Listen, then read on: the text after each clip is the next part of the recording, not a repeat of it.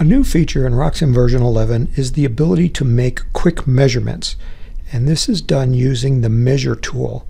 So what you can do is just click on that and then you select any two points on the rocket that you wish to measure. For example, say I need to know how big the payload bay is here on this rocket between the back of the nose cone shoulder and the front of the transition shoulder. So you just click any two points and it will give you a quick measurement. And then, of course, in RockSim, you can change your units to what you desire.